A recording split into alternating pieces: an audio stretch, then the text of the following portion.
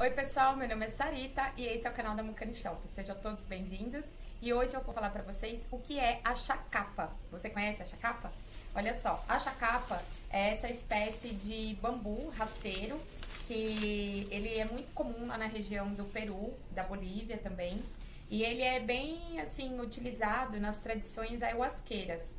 De maneira geral, não tem uma etnia específica para falar que é dessa tradição ou daquela tradição, mas sim de todos os xamãs, os curandeiros é, que utilizam a bebida ayahuasca. Então, durante a sessão de pagelância e de cura, os xamãs eles, eles utilizam essa folha para fazer uma espécie de bateção de folhas na pessoa, onde ele cura e limpa todas as energias negativas.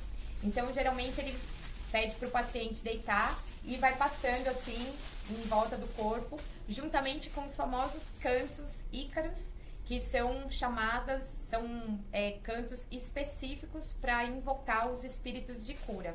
Então, durante a sessão, a gente escuta assim aquele momento de conexão espiritual, onde as folhas vão batendo e o xamã vai te assoprando, te limpando e vai te energizando.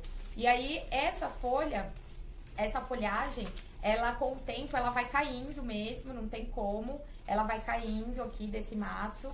Mas você pode é, conservar ela num lugar específico. E sempre que você utilizar ela, em seguida você deve fazer uma espécie de limpeza espiritual energética, porque ela absorve a energia negativa do paciente, da pessoa que você está trabalhando.